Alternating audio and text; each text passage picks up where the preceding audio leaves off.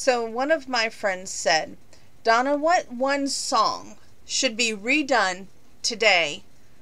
Maybe that a guy sang but a woman could relate to. And I took that question and I thought about it and I thought about it. And I was like, I've got the answer to that. It's an old fashioned song. It was done by Michael Martin Murphey, made a hit by him. I'm going to do my best to sing it. And we're going to do that one right now. What's Forever For?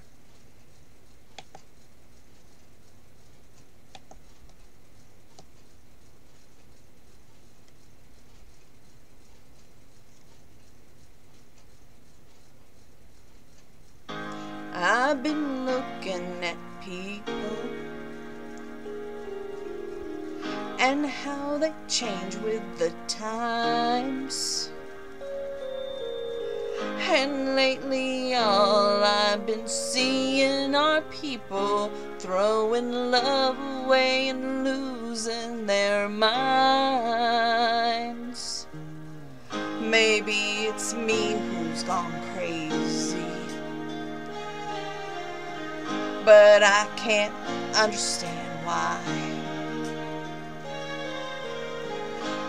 All these lovers keep hurting each other when good love is so hard to come by. So, what's the glory in living? Doesn't anybody ever stay?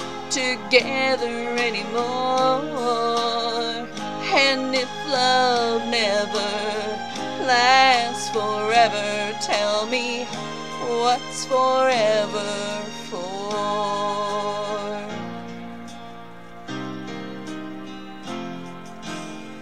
And I see love hungry people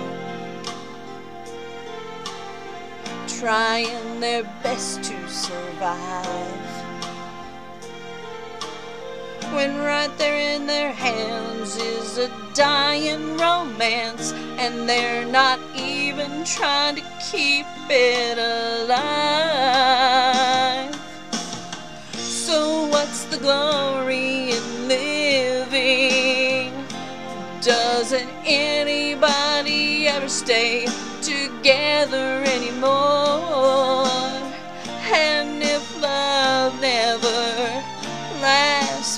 Forever. Tell me what's forever for.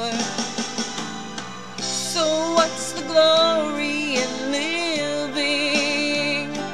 Doesn't anybody ever stay together anymore?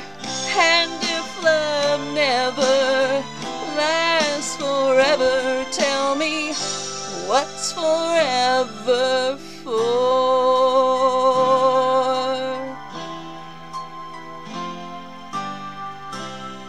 Thank you, and I hope that you have a wonderful Saturday.